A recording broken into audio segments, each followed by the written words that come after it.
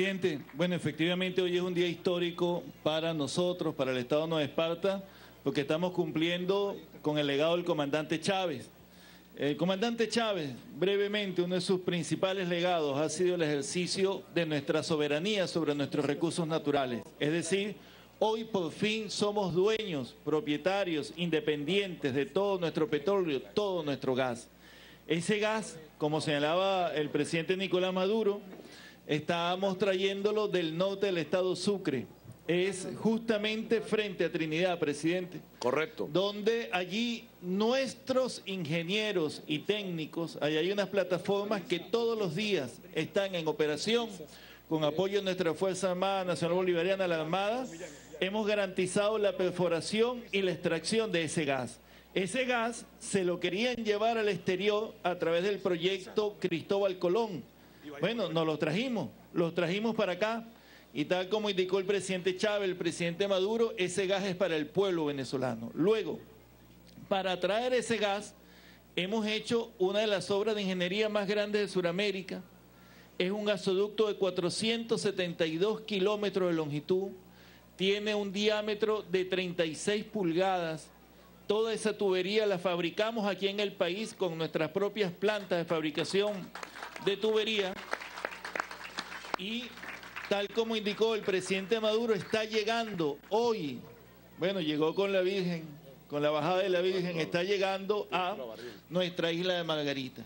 Rápidamente, ¿qué vamos a hacer ahora en el pase? Vamos a abrir la válvula que estaba ubicada por allí por el Silguero, donde está llegando el gasoducto y prueba que está entrando el gas. E inmediatamente vamos a tener un segundo pase con las familias que estamos ya llevando el gas directo. Para no andar con la bombona, sino tener gas directo en nuestras cocinas, ese va a ser otro pase. El gas, presidente, lo estamos orientando en esta primera instancia para ahorrar combustibles que hoy se queman en la generación eléctrica. Entonces estamos enviando inmediatamente gas a la planta Luisa Cáceres Arismendi, que ahorita está consumiendo unos 10 mil barriles día de combustible líquido y eso de inmediato es un ahorro para la nación y es un beneficio eh, ecológico para la isla porque no vamos a tener ese combustible líquido. Nosotros, presidente, estamos muy satisfechos. Yo quisiera, a nombre de los trabajadores de la nueva PDVSA que tanto ataca la oligarquía, enviarle un saludo a un revolucionario, como ya vamos a hacer en nuestra transmisión, y quisiéramos que usted nos diera la autorización para abrir esa válvula y comenzar el gas. El gas también pasó por coche. Ha podido no pasar por coche, pero ¿cómo íbamos nosotros a no llevar el gas a coche? Así es. Ahí vamos a tener... Ahora es que hay que desarrollar los proyectos turísticos, pesqueros, múltiples proyectos para el pueblo de Coche que los vamos a visitar más pronto de lo que ellos creen. Va a haber sorpresa. Presidente, y ahí vamos a poner, estamos trabajando una planta desalinizadora de agua que se usa el gas para desalinizar agua y una planta de generación eléctrica para darle a coche también su autonomía.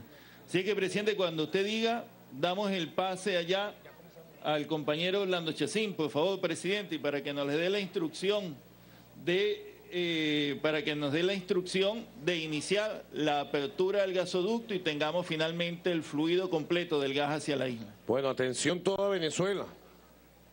Vamos a preparar materiales muy precisos. Fíjense ustedes, Estado Guárico, satélite. Estado Nueva Esparta y todo el oriente del país, el gas.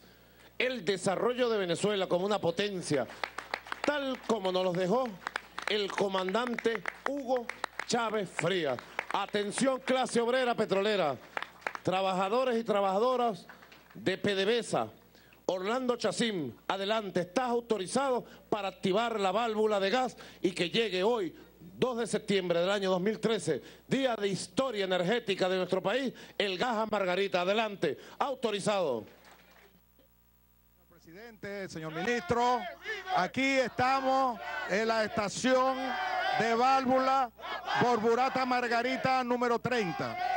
Aquí estamos con los trabajadores y trabajadoras de la nueva PDVSA, de la PDVSA chavista y la PDVSA antiimperialista, presidente. Aquí vamos a enviar al gerente eh, y un trabajador eh, petrolero y gasífero, a, como ya usted nos ha autorizado, a, vamos a abrir la, la válvula para que entre el primer gas aquí a, la isla de Margarita a través de esta estación. Mientras que abren la válvula, señor presidente, hay que explicar. Adelante, estamos abriendo la válvula en este momento. Está muy bien. Estamos abriendo, señor presidente, esta estación. Ahí pueden ver el mechurrio horizontal, donde están haciendo una, una operación propia de aquí de la planta. Esta planta, esta planta, señor presidente, es muy importante. Va a tener dos salidas. Una salida para el gas doméstico, para la gasificación de las ciudades. Eh, aquí la, la, planta es importante, llega ese gas a través del gasoducto que viene de tierra con 750 libras. Aquí lo transformamos en 60 libras, lo enviamos a una estación distrital y de ahí se envía a través de redes y líneas al gas doméstico, a las viviendas.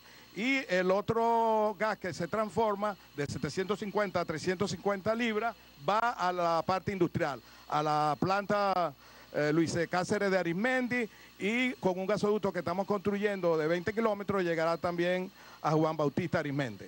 Eso es lo más importante, presidente. Adelante. Importante, presidente. Adelante. Importante, presidente. Adelante.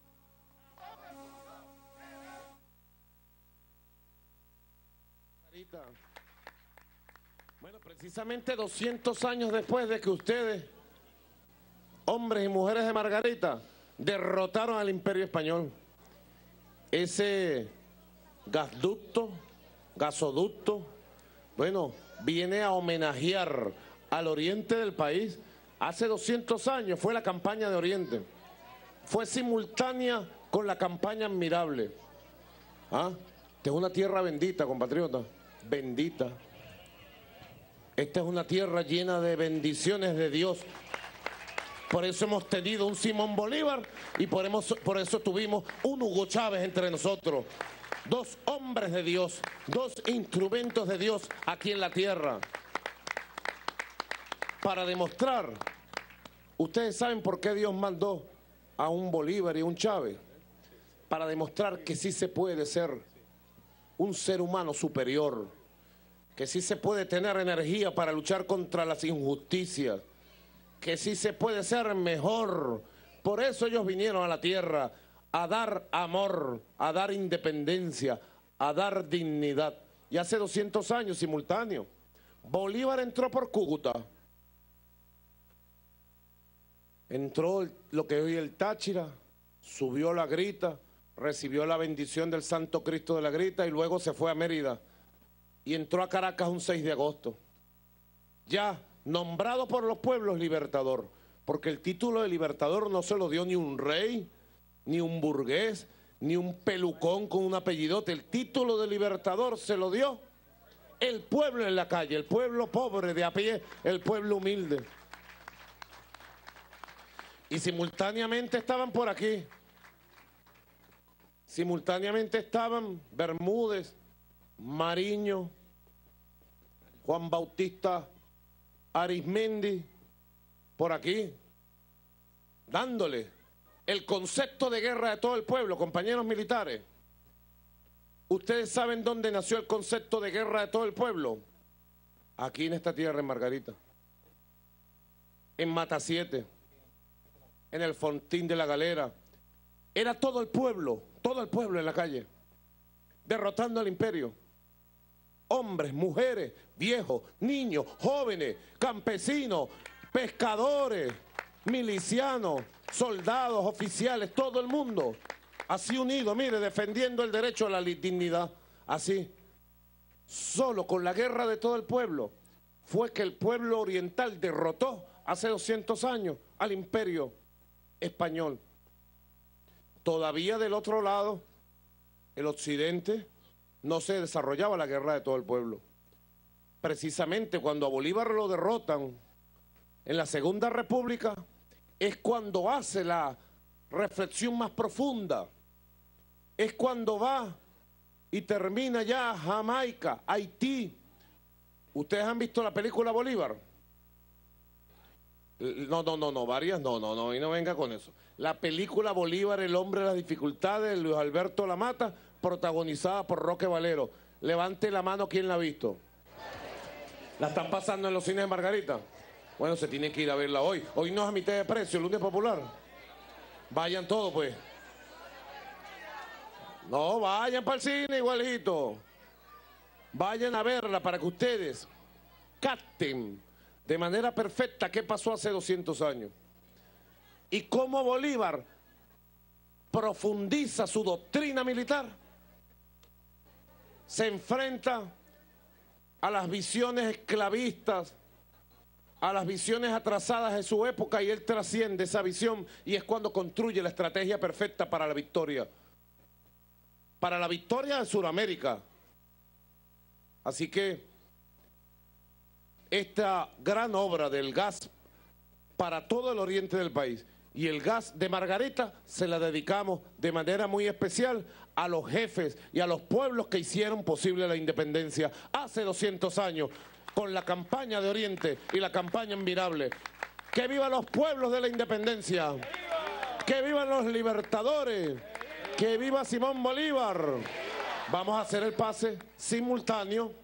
Sigan viendo ustedes, la pantalla se va llenando de obras. Esa es la verdad, en la calle trabajando. Así de sencillo. Ahora vamos a la urbanización Villarrosa, municipio García, sector Villarrosa, ustedes la conocen, ¿verdad? Villarrosa, muy famosa, muy famosa Villarrosa.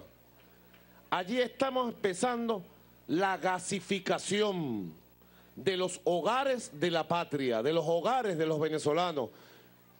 Llega el gas a Margarita, pero inmediatamente está el tubito para que el gas le llegue a usted en su hogar y usted pueda tener una calidad de vida realmente del primer mundo, pues sí se puede decir, una calidad de vida del socialismo venezolano. Yo le voy a dar pase, no sé si ya tenemos el pase aquí, simultáneo, pendiente Orlando Chacín, para que nos explique un poquito más junto al ministro Ramírez la continuación del gasducto dentro de Margarita. Pero ahora vamos a demostrar cuál es el objetivo final de tantas obras y tanta inversión. El objetivo es el ser humano, la familia venezolana. Adelante, Antón Castillo, Douglas Sosa y un gran amigo que yo tengo allá, que tenemos todos. ¿Ustedes lo conocen? Cruz Lairet. Adelante, allá en Villarrosa. Adelante, señor presidente. Estamos acá muy felices. El gas llegó a Margarita. Chávez vive.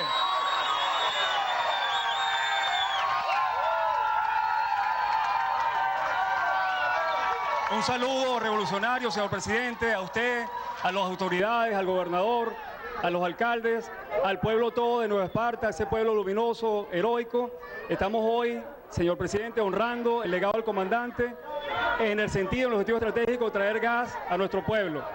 Y estamos acá en esta población, en el municipio García, en Villahermosa, como usted puede apreciar, el pueblo está feliz de poder disponer de este hidrocarburo valioso, directo, y vamos a proceder entonces, señor presidente, a explicarle cómo estamos llegando nosotros acá a Nueva Esparta. Como usted ya mencionó, ese tremendo gasoducto se construyó desde la parte de Huiria, llega al muelle de Cariaco y en el muelle de Cariaco hay una derivación de 16 pulgadas que toca la isla de Coche, como podemos apreciar acá. Acá va a haber generación termoeléctrica y gasificación también.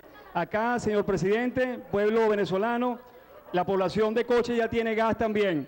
La población de Coche en estos momentos tiene 120 personas gasificadas. Eso es un gran logro y solamente, señor presidente, señor Emilio, el pueblo venezolano, eso sucede solamente en revolución. La Cuarta República era incapaz de gasificar al pueblo popular, al pueblo humilde. La Cuarta República gasificaba a la clase media y los industriales. La revolución está gasificando a nuestro pueblo de coche y ese gasoducto continúa de manera submarina hasta la BM30, donde ya usted dio el inicio, la apertura del gas, es decir, que ya está en servicio ese gasoducto en el área de Macho Muerto. De Macho Muerto nosotros tenemos un gasoducto que prolonga ese gas o lleva ese gas a Villarrosa, como podemos, podemos apreciar acá.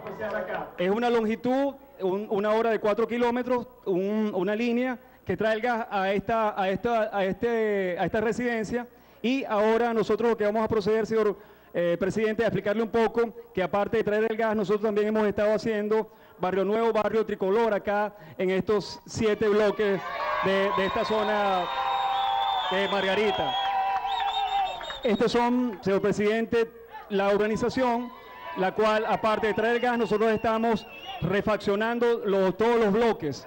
Acá viven aproximadamente 250 personas, las cuales estamos nosotros reparando las fachadas, eh, estamos también reparando todo lo que es la parte de las barandas, estamos refaccionando las canchas, recuperando los parques. Es decir, señor presidente, es un desarrollo, un abordaje integral.